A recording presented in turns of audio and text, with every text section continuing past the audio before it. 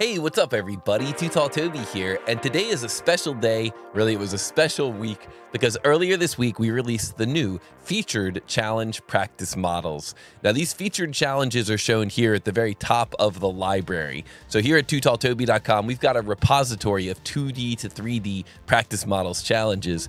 And what makes the featured challenges so special is that they include the try again functionality. Now, the try again functionality is normally reserved for members who have the practice models premium subscription. But if you want to use this fantastic bit of functionality, you can use it as long as you access it through these featured modeled challenges. Now, what makes this try again functionality so special is that it lets you try and then try again to recreate this model to try to get a faster time. So we can see here in data and analytics, in data and analytics, we can see that when I first created this model, I did it in six minutes and 22 seconds. When I created it the second time, it was three minutes and 48 seconds. And then I got it down to two minutes and 21 seconds. And if you stick around to the end of this video, I'm going to see if I can do it in under two minutes. So, what did I learn by trying to create this same model over and over and over again? Well, what I learned are some really important time saving workflows in Onshape. But of course, you may be using a different CAD system. You may be using Fusion, you may be using SolidWorks. It doesn't matter. What matters is that by going through and trying out some different things and trying out some different workflows, you can figure out what's going to be the most efficient or the best way to save time when you're creating models. And I'm not talking about things like putting all your features into one sketch. I'm talking more about logistical workflows within your CAD system. Now, I'll show you a really good example of that here with this mirror command in Onshape. For a long time, when I went to create a mirror command in Onshape, what I would do is I would click the mirror button up top here, then I would click this face, and then I would press tab. And what I'm hoping for there is that I advance from this box down to this box. But it doesn't work. It doesn't give me what I'm hoping for because that would make it really easy for me to then select this face here as my mirror plane. You know, that would be that would be a pretty nice workflow if I could just press tab and then choose that face as my mirror plane. Well, by doing a little bit of experimentation and practicing and using try again and try again, what I learned is that I can first select this face, a little pre-selection, then click the mirror command, then press tab, and look at that, now I'm in the mirror plane. Now I can pick this face again and enter. And we can even further supercharge that workflow. I'm going to press Control Z by modifying our S key menu. So S key can right mouse button and customize and adding the mirror command to our S key menu. So now my workflow looks like this. I pick this face, I press the S key, I press mirror, tab, pick this face again, and boom, I'm done with that mirror. Wow, that went so fast. Let me do it again here. Pick this face, S key, mirror, tab, pick this face again, boom, done with those two mirrors.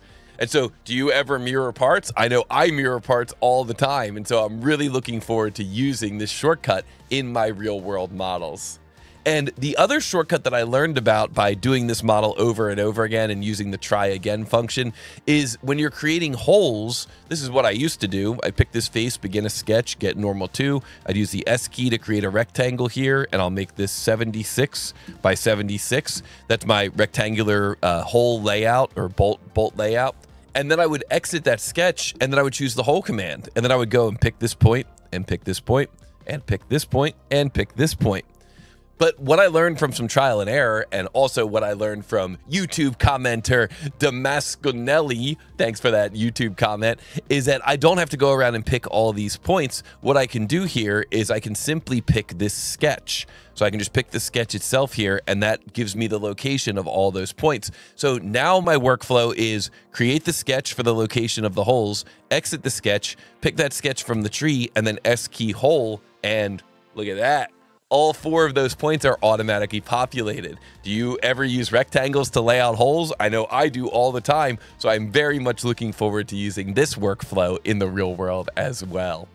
And so that is our new functionality, the new try again functionality available to all users if you access the challenge through the featured challenge practice model. Let me know down in the comments what you think about that. Let me know if you've been able to use try again and learn any cool new workflows.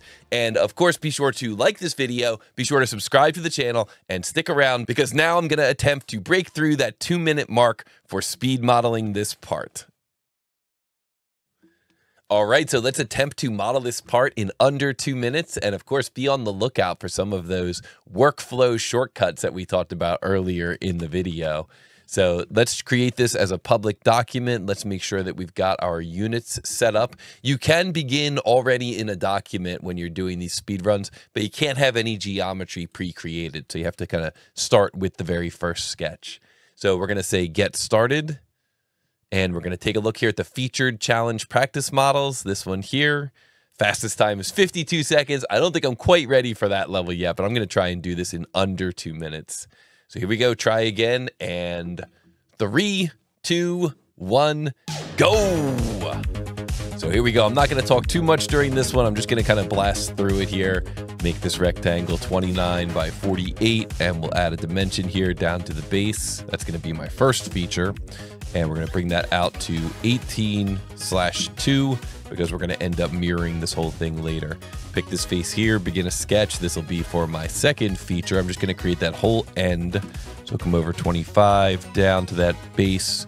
Come over this way. We'll come up 14 over here like so. Let's use the line arc line shortcut in Onshape.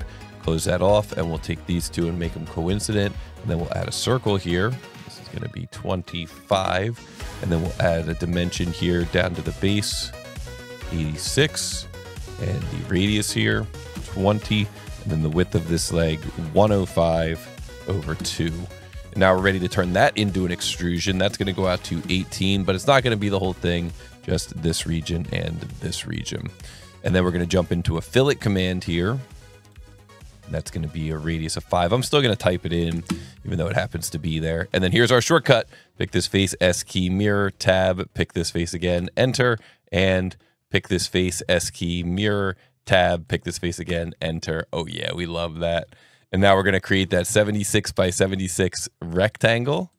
So 76, enter, 76, enter, exit the sketch, pick the sketch, S key, hole, and we're going to type in the 7, tab, tab, tab, 14, tab, 4, enter, enter, assign a material, and that's going to be plain carbon steel.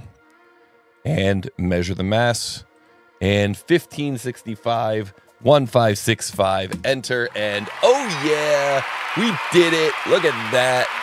We were able to use those shortcuts that we learned along the way and we were able to get this thing answered in under two minutes so it just goes to show you if you use that try again function over and over again, you can really refine your workflows. And of course, we're using it here in this kind of fictional model just to practice our chops, but you're gonna be mirroring your parts in the real world. You're gonna be laying out holes in the real world. So learn these workflows here in practice models, use that try again functionality, and that way you'll be able to use those same workflows in the real world.